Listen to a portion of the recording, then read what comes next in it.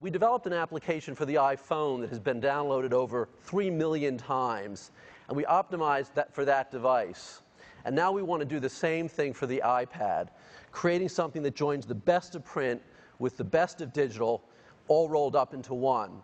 Something that you can really immerse yourself in, lean back, and enjoy.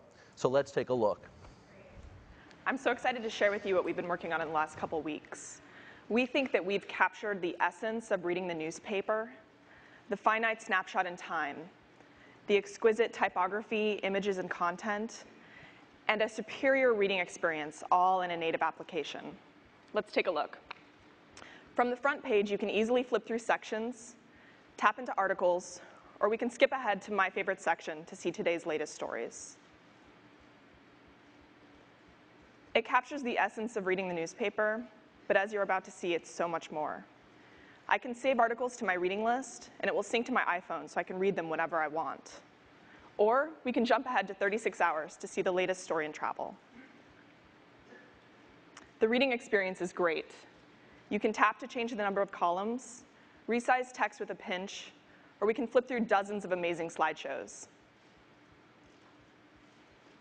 Let's jump to sports to see the latest coverage in the Olympics. It's an incredibly physical sport. In my opinion, skier cross athletes are some of the best skiers on the planet.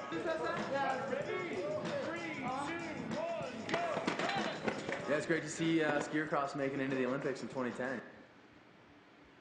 When you're done reading, simply turn on updates to get breaking news and latest stories in all sections. It's everything you love about the paper, everything you love about the web, and everything you expect from the Times.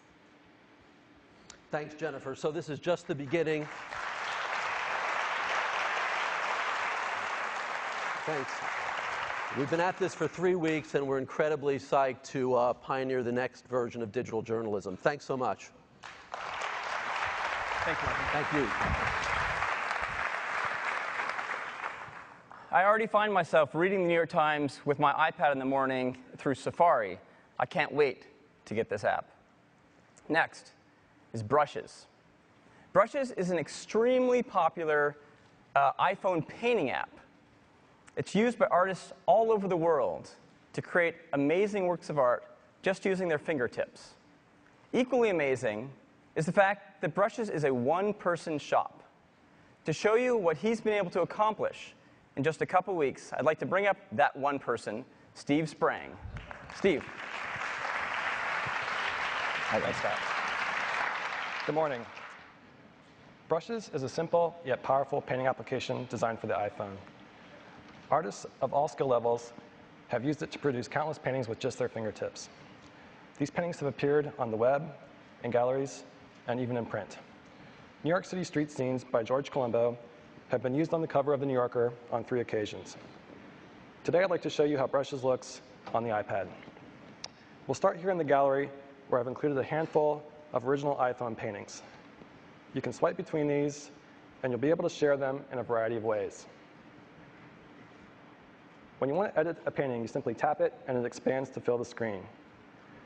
Brushes takes full advantage of the new interface elements available in iPhone OS 3.2, allowing you to access your controls without significantly obscuring your artwork. The color panel has been redesigned to include an area for swatches where you can store your favorite colors. These can be rearranged, and you can double tap one to quickly select it and dismiss the panel. Of course, all of your favorite brushes from the iPhone are available here too. You can adjust the size, the spacing, and the opacity. By pinching, you can zoom in up to 32 times. And by tapping and holding, you can activate the eyedropper tool, which allows you to pick up existing colors off the painting. Painting is as simple as dragging your finger across the screen. In this example, I'm removing the umbrella by painting over it with the background color. If you mess up, you can always undo. When you're done painting, just tap the gallery button to return to the gallery. On the iPad, Brushes is going to support in-app playback of your paintings. Just tap the play button to see a replay of your actions. I'm really excited about the possibilities for Brushes on this device. Artists have already done amazing things with the iPhone, and I think with this larger screen, they're going to have a true portable paint studio. I can't wait to see what they can do with it, and I plan to have Brushes available at the product launch. Thank you. Thanks, Steve. It's amazing. I mean, imagine an artist with a canvas this large that they can carry anywhere they go, including art students, and it weighs only a pound and a half. No paints, no easel. It's going to be incredible. Next up, Electronic Arts. Electronic Arts has been a major supporter of the iPhone platform ever since we launched the App Store, with over 40 titles already. EA is the number one worldwide publisher of mobile games. To show you what they're doing for the iPad, I'd like to invite up Travis Boatman. Travis? Thanks, Scott. Hey, everybody. So when Apple invited us to come on site and work with them on the iPad, we couldn't have been more excited. But as gamers, the first thing we wanted to check out was this device's performance.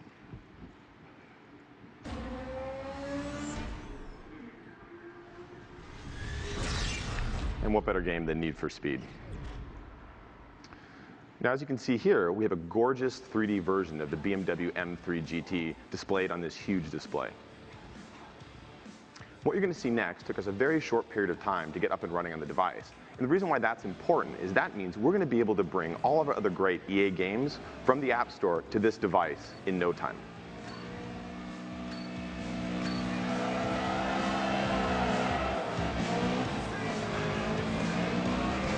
Now, we've made games for consoles and we've made games for the iPhone, but building for the iPad is something completely different. It's a little bit like holding a high definition television screen just inches from your face. The field of view and the sensation of speed that you get is just incredible. It's not unlike if I turned around and was driving this monitor with my hands. Except I couldn't clearly lift that up, but this thing's so light that John's able to hold it in his hands and use the accelerometer to steer our car like a steering wheel. It's really cool. It's also fully touch enabled. And we had a lot of fun experimenting with different types of interfaces. For example, if John wants to see inside the car, there's no buttons required. He just taps right on the car. We had so much screen real estate, we started adding fun things like the shifter. Again, really intuitive. The user just swipes up and down with his finger to change gears. We also have so much screen real estate, we added mirrors. Simply tap on the mirror to look behind you. Yeah, well, you gotta be careful where you're looking if you're driving. But other than just a large screen and it being completely touch sensitive, again, for us, performance is really important. And a game like Need for Speed really pushes the limits. So we want to show you exactly how fast this device in this game really goes.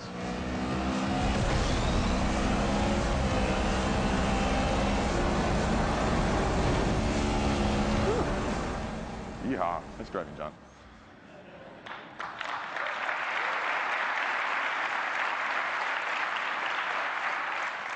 So that's Need for Speed running on the iPad, and you can expect a lot more great stuff coming from EA soon. Thanks, everybody.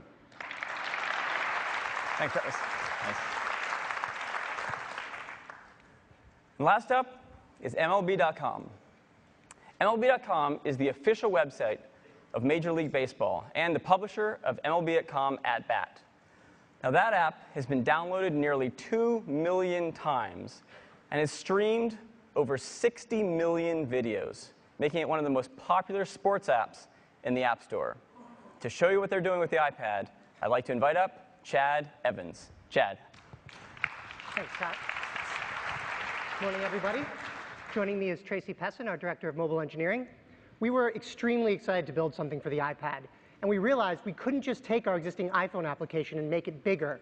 We really needed to create a whole new experience to take advantage of the big, gorgeous, interactive display. So let's take a look at the demo. So you're currently looking at our live game experience with data from last April. Across the top, you have our league scoreboard, which allows you to navigate to any of the day's games. On the field, you have our game day pitch tracker, which shows you the trajectory of every pitch thrown. And you can tap on a pitch to bring up additional details. You can also tap any player to flip open his baseball card. So you can see all the stats relevant to the current game situation. And now with all this great screen space, we can actually show you video highlights while all this is going on. So you can replay the game's best. High drive, right center field, hit a ton, up in triples alley. Well, I love that. Across the bottom, we've got your game controls, so you can see the box score, the field, the summary, the batter pitcher matchup, and scroll through the lineup.